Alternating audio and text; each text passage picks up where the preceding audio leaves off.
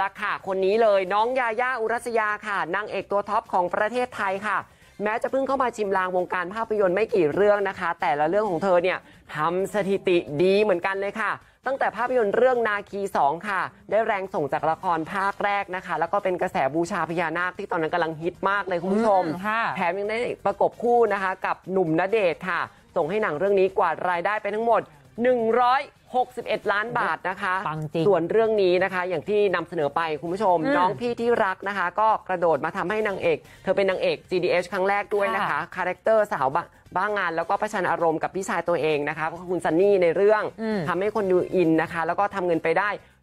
146 ล้านบาทนั่นเองค่ะ ความเป็นธรรมชาติของทั้งคู่นะคะ ก็อืมส่งเสริมกันไปจ้ะอะมาปิดท้ายนิดนึงละกันนะคะ อีก